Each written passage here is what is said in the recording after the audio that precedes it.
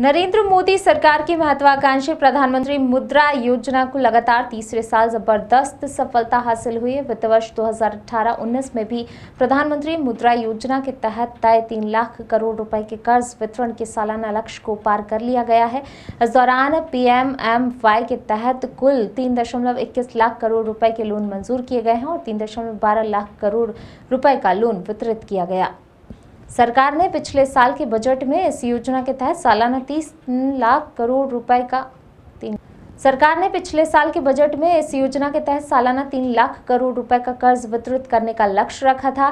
Financial express के अनुसार पहले इस लक्ष्य को पूरा होना मुश्किल माना जा रहा था, क्योंकि यह वित्त वर्ष 2017-18 के मुकाबले 23 फ़ीसदी ज़्यादा था। वित्त वर्ष के अंतिम आठ दिनों में इस योजना के तहत अठारह हज़ार करोड़ रुपए के लोन वितरित किए गए, ताकि लक्ष्य को पूरा करना सुनिश्चित हो सके। अंतिम चार दिन में हर दिन पैंतालीस करोड़ रुपए के मुद्रा लोन को मंजूर किया गया। वैसे तो पूरे वित्त वर्ष की बात करें तो हर दिन औसतन नौ करोड़ रुपए का लोन वितरित किया गया एक सरकारी अधिकारी ने अखबार को बताया कि इस बारे में आधिकारिक आंकड़ा जल्द ही जारी किया जाएगा। बता दें कि प्रधानमंत्री मुद्रा योजना के तहत देश के युवाओं को अपना खुद का कारोबार शुरू करने के लिए बिना गारंटी के बैंकों से लोन उपलब्ध कराया जाता है। मुद्रा योजना आठ अप्रैल 2015 को शुरू की गई थी। मुद्रा योजना में तीन तरह के लोन दिए जाते हैं।